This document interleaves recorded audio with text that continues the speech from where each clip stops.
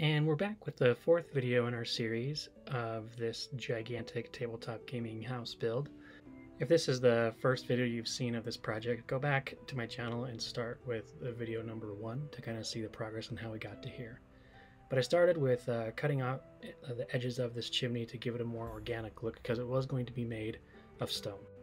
You'll see that the chimney is actually divided up into three separate pieces. That's so each of the individual pieces, the first floor, second floor, and roof can all be removed individually with each other and still have the chimney attached. Again, the second floor of this can actually be used on its own, so I wanted to make sure that it would still have a chimney associated with it. So I got the markings on this done to cut and remove material that need to be removed, like this piece of timber, and then also a piece of that smaller roof there on the right. Getting them in place was really important because uh, it kind of really changed the whole silhouette of the entire house. Uh, made it look really great and got me really excited to start painting it soon. Uh, there was still a bit more work to do before that, but I was really excited. So all these kind of fit together nicely here and then I attached them with some hot glue and yeah, it was on to the next step after this. After I got these all attached, I went ahead and started to make some little tubular type things to go on the top. I don't know what they're called, but uh, I first had carved stone into them, but then I remade them without stone and decided they'd be more like a, a clay or cement type thing to kind of break up the long, long, long stone pattern. So I took my little hot wire or my little hot poker thing here and uh, melted out some shallow holes to kind of glue them into place and I thought they turned out very nicely. It was a new tool, it was very inexpensive on Amazon and yeah, it's been very helpful since I got it. And you see how it really kind of created a whole new silhouette for the house, made it look really cool. And each one of those pieces is separate from the other, so you can dismantle the whole thing and put it back together. Uh, I'm really glad I went this way because it makes the piece more versatile. The next step was to actually work on a guard railing for this kind of second story kind of balcony patio and I just got the height by using the, my miniature there and then cut out some kind of half oval uh, shapings to create the rail. Glued those in place and you, you don't I don't have any footage of it but I actually do add a little bit more uh, to these railings to give them a little bit more depth and texture uh, making them really pop. But uh, once I got those glued in place it was time to move on to uh, doing some windows. And the funny thing about the windows is I started out by using what's called granny grating. I think it's a slang term for it but it's like a kind of a crocheting type material, really cheap, made of plastic, and I cut all the windows out. And it looked pretty good, but I ended up finding a much better material that I did not film cutting because it took just as long to cut them all out, and you'll see that later. But yeah, turned out to look pretty good, I thought. I moved on to the doors next, and I just took those uh, cutouts that I had done originally and split them in half so they were a bit thinner.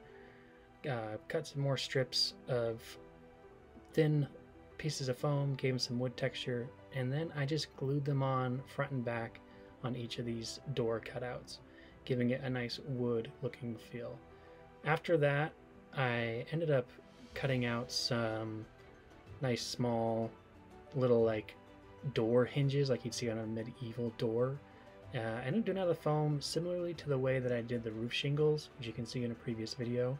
But uh, I cut those out and then on a thicker piece of foam and then I slice them very thinly and then attach them as those long hinges, which you'll see here next. This is where the Proxxon really comes in handy again. Uh, you can get some pretty fine cuts on this, things that you wouldn't be able to do easily with a knife, uh, because after you cut this out, you just flip it on its side and then cut really thin, you know, 16th of an inch or like mil to mil thick pieces. I then needed to create some door handles, and I made this out of a wiring that I had from a previous hobby. This is a wiring used in bonsai trees to kind of train branches in the way that you want them to go. But I basically just wrapped it around a barbecue skewer and then uh, cut it into little loops And yeah, they worked out actually really well. I then moved on to kind of covering up some of those corner pieces where I didn't wrap the brick around an edge or the stone around an edge because I already had another idea how to solve for that. So I cut these squares and then I only cut out like an L-shaped piece of them to be like kind of like an L-shaped stone, or I guess they're probably called cornerstones, to cover up those edges and hide just the exposed foam without any previous existing stone or brick texture on them. I made sure to make the cornerstones two separate thicknesses and then I attached them with some hot glue. I used the two separate thicknesses because I didn't want to just look like it. It would end up just looking like a straight piece of one big tall cornerstone and I wanted to look like they were individual pieces. I also made sure to make them a little bit longer on one side so I could stagger them as they went up, but just long enough to cover up the seam between where the brick ends and the edge of the new piece without any texture began. And you can kind of see it here in the photo where one piece is longer than the other. And this had a really nice kind of finish to it. And but it needed a little bit more because the edges were too sharp. So I then took one of those clay sculpting tools that I have and I just kind of dragged it across, uh, smoothing out the edges and making the corners not look so freshly cut. After this was done, I made sure to texture all of the stones a little bit differently than I did the brick. I used this tool uh, that was made by uh, Tabletop Witchcraft, actually. He has a great tutorial on it, and I made it, and honestly, it works great. So definitely go check him out. I'll link that in the description below for you to check out how to make your own.